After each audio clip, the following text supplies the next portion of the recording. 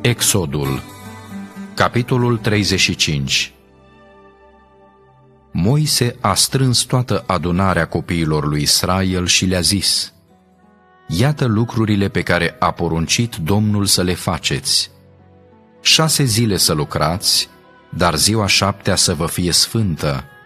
Acesta este sabatul, ziua de odihnă închinată Domnului. Cine va face vreo lucrare în ziua aceea să fie pedepsit cu moartea.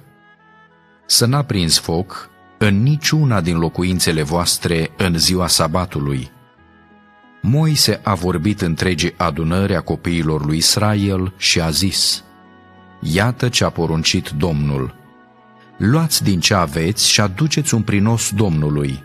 Fiecare să aducă prinos Domnului cel lasă inima, aur, argint și aramă, materii vopsite în albastru, în purpuriu, în cărămiziu, in subțire și păr de capră, piei de berbeci vopsite în roșu și piei de vițel de mare, lemn de salcâm, un de lemn pentru sfeșnic, mirodenii pentru un de lemnul ungerii și pentru tămâia mirositoare, pietre de onix și alte pietre pentru împodobirea efodului și a pieptarului.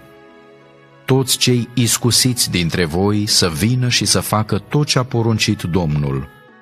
Locașul, cortul și acoperișul lui, copcile, scândurile, drugii, stâlpii și picioarele lui, chivotul și drugii lui, capacul ispășirii și perdeaua dinăuntru pentru acoperirea chivotului, masa și drugii ei cu toate uneltele ei și pâinile pentru punerea înaintea Domnului, sfeșnicul cu uneltele lui, candelele lui și unde lemnul pentru sfeșnic, altarul pentru tămâie și drugii lui, unde lemnul pentru ungere și tămâia mirositoare și perdeaua ușii de afară de la intrarea cortului, altarul pentru arderile de tot, grătarul lui de aramă, drugii lui și toate uneltele lui, ligheanul cu piciorul lui, pânzele curții, stâlpii ei, picioarele ei și perdeaua de la poarta curții, țărușii cortului, țărușii curții și funiile lor, veșmintele preoțești pentru slujba Sfântului Locaș,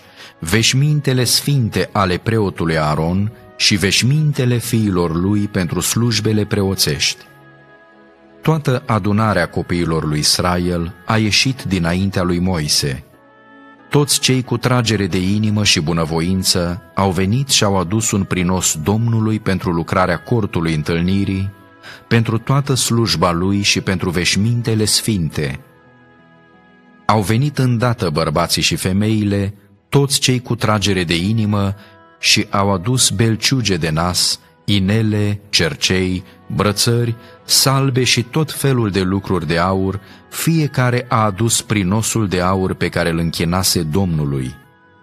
Toți cei ce aveau stofe vopsite în albastru, în purpuriu, în cărămiziu, in subțire și păr de capră, piei de berbeci vopsite în roșu și piei de vițel de mare le-au adus.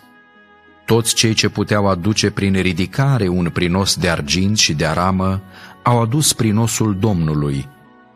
Toți cei ce aveau lemn de salcâm, bun pentru lucrările rânduite pentru slujbă, l-au adus. Toate femeile iscusite au tors cu mâinile lor și au adus lucrul lor, și anume, tort vopsit în albastru, în purpuriu, în cărămiziu și în subțire. Toate femeile cu tragere de inimă și iscusite au tors păr de capră. Fruntașii poporului au adus pietre de onix și alte pietre pentru efod și pieptar, mirodenii și un de lemn pentru sfeșnic, pentru un de lemnul ungerii și pentru tămâia mirositoare, toți copiii lui Israel, bărbați și femei, pe care îi trăgea inima să ajute la lucrul poruncit de Domnul prin Moise, au adus Domnului daruri de bunăvoie. Moise a zis copiilor lui Israel, Să știți că Domnul a ales pe Bețaleel, fiul lui Uri, fiul lui Hur, din seminția lui Iuda.